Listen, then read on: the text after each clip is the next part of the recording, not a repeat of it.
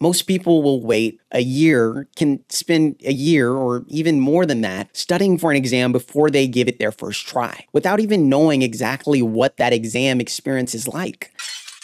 Hey, welcome back to Green Not an Expert. My name is Jon Green. I'm a senior technical support engineer, and you can likely tell by the title of this video, I'll be sharing how my brother, Josh Green, got his JNCIA in only two months. Now, full disclaimer, my brother did attend a networking course about four years ago where he did get exposure to the fundamentals of IT and how things worked on Cisco IOS routers and switches. But as I mentioned, that was four years ago, and my brother found himself a bit rusty. He also had little to no experience with Juniper equipment. So that brings us to the question well, why did Josh want to pursue the certification to begin with? And to fill you in, Josh currently works in the Army as a radio repair specialist, while also working part time as a DoorDasher. And he's been trying to break into the IT field for quite some time now.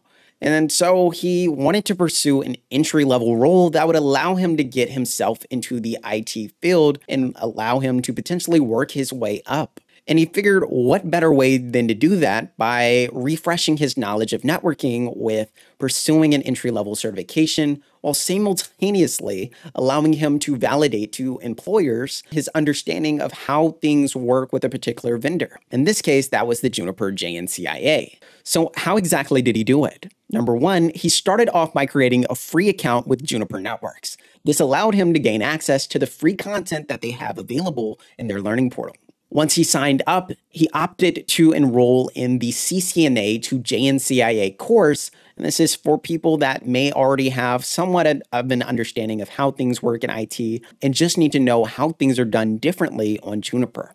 At the end, there's an assessment that you can take that's about 60, 65 questions or some something around that range. And if you pass it, you get 70% off your voucher. Full disclaimer Juniper does have a second course available that's a bit longer, which outlines everything uh, individual would need to know, even if they didn't have a background in networking and were looking to pursue the certification. So, on his first week of setting his sights to pursue the JNCIA certification, I encouraged him to go ahead and schedule a test date for the exam. That's right, not the second week, not the third week, right out of the gate he went ahead and scheduled the exam to test that Wednesday or Thursday. And you can probably guess he failed. And that's to be expected. You know, most people will wait a year, can spend a year or even more than that studying for an exam before they give it their first try without even knowing exactly what that exam experience is like. So I encouraged him to get this exposure, to get a feel for the exam, see how they ask the questions, and also get his results. That way, when he actually started studying, he could assess okay, what areas and topics are am I strong in and uh, did I do well on? And then what areas did I bomb or just did horrible that I could spend a, a, really a lot more time focusing on how to improve in these particular areas. This is a lot more useful than blindly studying for the entire exam. Number three, I showed him how to get access to a hidden link on Juniper's website. I call it hidden because I found it a bit difficult to find, but it's probably not for some other tech savvy people. Uh, essentially, this allows you to access the JNCIA practice exam that Juniper has available. And this practice exam, you get unlimited attempts. I think there's even two different ones, or there may be one, I'd have to double check. But essentially, you can test it, go through it, and at the end, you can even see what the correct answers would be that would allow you to properly assess and grasp a better understanding of why those answers were correct, rather than blindly wondering, well, well, why did I get it wrong? Lastly, for number four, he also spent some time on the EVE-NG platform messing around with the VSRX device.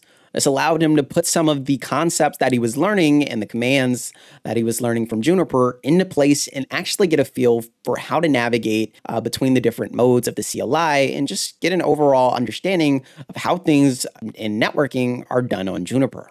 So to round out this video, Josh did actually take the JNCIA exam more than one time, more than twice. But this constant exposure to the actual exam is what allowed him to reflect on his results and adjust how he studied and what he studied on to allow him to get better each time he took it. If you're watching this video, you're likely studying for some certification, whether that's the Security Plus, the A Plus, Network Plus, the JNCIA, or the Cisco CCNA. Put your imagination to rest and get a feel for the actual exam. I made a post about this a while back on my LinkedIn saying that there's no better way to prepare for a certification than by just doing it. By doing it, you gain the most from the experience in terms of knowing and getting an actual assessment of what the exam is like and how you can prepare for it in the future. So figure out what exactly you're up against and go for it. I wish you all the best, and I hope you found this video helpful towards your IT journey.